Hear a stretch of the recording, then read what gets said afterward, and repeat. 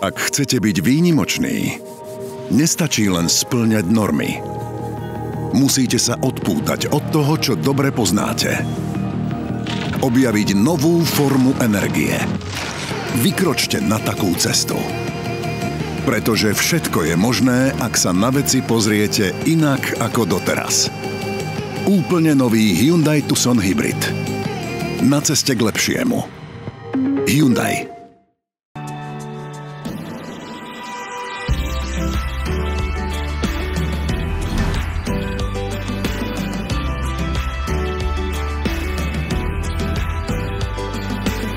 Dnes sa pozrieme na auto, ktoré spája nemeckú techniku so španielskou krvou a pritom dizajnovo konkuruje priamo talianskej Alfe. Sám výrobca toto auto označuje ako najinovatívnejšie, aké kedy vyrobil. Ako už čítate z popisku, reč bude o novom Seate Leon.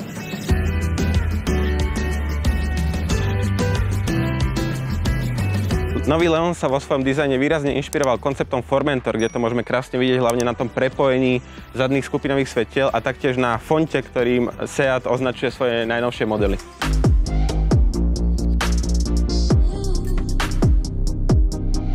Viditeľnou zmenou dizajnu prešla aj predná časť, ktorá sa podobá viacej na Tarako a vychádza taktiež z konceptu Formentor. Vypadá mohutnejšie a kapota sa zvažuje o mnoho ostrejšie ako v predchádzajúcej generácii.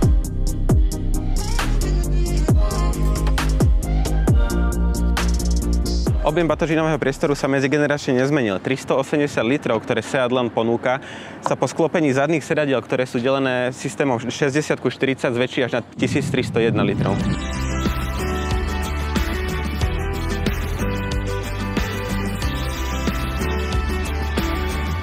Zväčšenie rázvoru je najciteľnejšie hlavne na zadných sedadlách v oblasti kolien. Keď sa posadím sám za seba, tak tu mám dobrých 10 až 12 cm a taktiež nad hlavou mám asi 5 cm k dobru.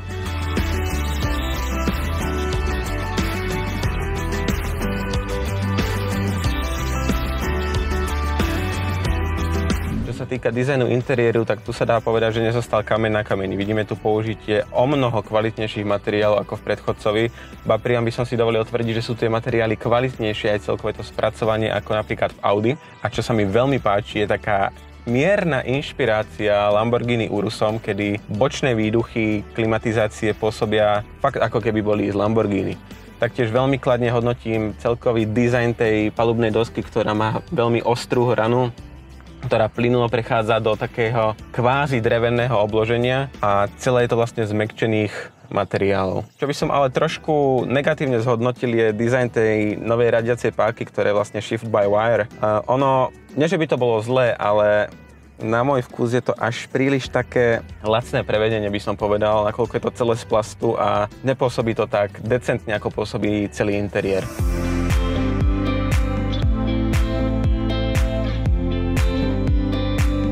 Súčasnému trendu digitalizácie, ktorým sa uberá celý koncert Volkswagen, sa nevyhol ani nový Seat Leon. Dalo by sa povedať, že vlastne až na tri základné tlačidla, ako je vypnutie e, systému start-stop, elektronická parkovacia brzda a odomknutie dverí, e, nezostalo v tomto aute nič také klasické gombíkové alebo manuálne. Všetko sa to presunulo na centrálny displej infotainmentu, ktorý sa teraz stal vlastne takým aj ovládacím centrom celého auta. Taktiež, čo sa mi nie úplne celkom páči, je to, že ovládanie klimatizácie a celkovej cirkulácie vzduchu v aute sa tiež presunulo na centrálny displej infotainmentu. Síce ono je to tu vyvedené horné lište ako samostatné ponuky, či už tu máme auto, kde si môžeme regulovať intenzitu klimatizácie, alebo si tu môžeme regulovať teplotu, ale myslím, že klasické tie otočné prvky boli o mnoho lepšie v tomto.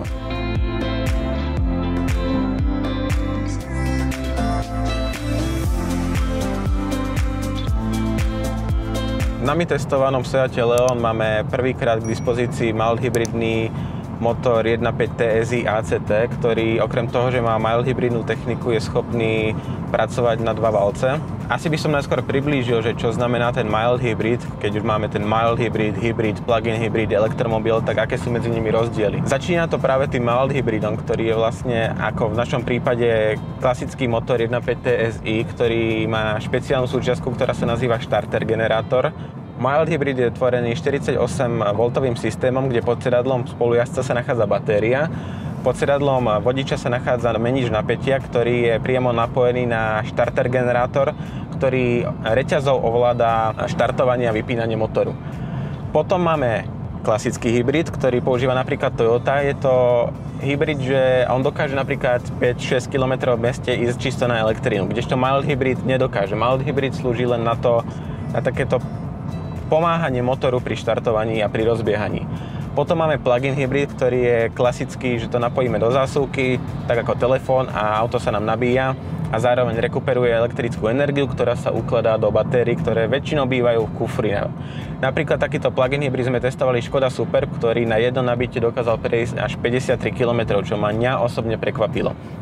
No a potom tu máme klasický elektromobil, ktorý nemá spalovací motor, a namiesto neho vlastne má buď 1, 2, 3 alebo 4 elektromotory.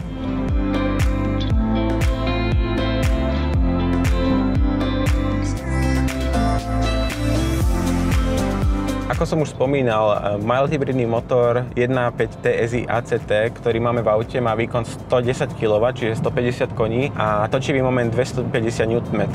Ako to vlastne funguje, tento mild hybrid? Ono by sa dalo v jednoduchosti povedať, že sa jedná o akýsi inteligentnejší systém start-stop, kedy vlastne v prípade, že sa nachádzame 500 metrov pred dedinou, kilometre pred dedinou, tak mild hybrid úplne vypne motor a my vlastne už len doplachtíme do tej dediny s tým, že vo väčšine prípadov na začiatku dediny máme na tachometri 60-55 km za hodinu. Osobne som si všimol, že tento mild hybridný motor dokáže pracovať v dvoch režimoch. Prvý režim je taký, by som povedal, že možno mestský, kedy keď idem tak 50-60 v meste, on sa dá do neutrálu v prípade plachtenia a nevypne sa ten motor. Druhý hybridný spôsob je napríklad pred dedinou, keď idem ako teraz 95 a nachádzal by som sa niekde kilometr alebo 500 metrov pred začiatkom obce, mňa auto vyzve, aby som dal nohu z plynu dole a ja keď ju dám dole, no tak on v momente odpojí motor, čiže úplne vypne a to auto už len doplachtí s otrvačnou energiou.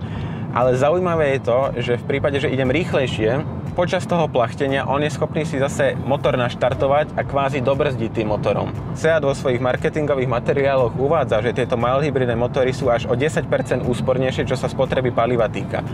Osobne e, momentálne mám dlhodobú spotrebu na úrovni 6,2, čo nie je zlá hodnota, ale napríklad v meste si ten motor kľudne vypýta 6,8 a na diálnici 6,5, ale výborná spotreba je pri okreskách, kedy som dokonca dokázal jazdiť až za 4,8 dlhodobo.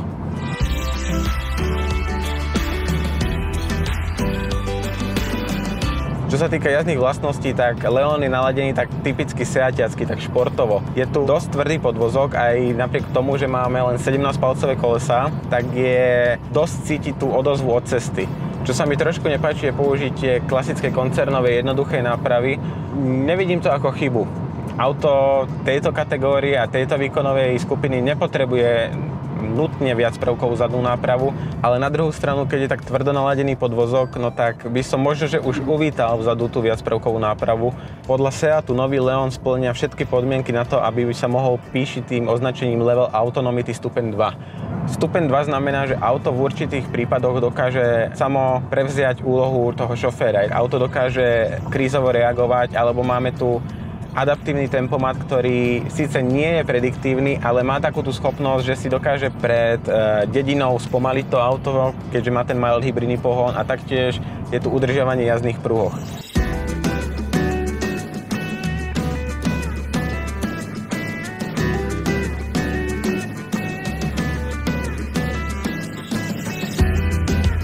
Ako by som teda nový Seat Leon zhodnotil?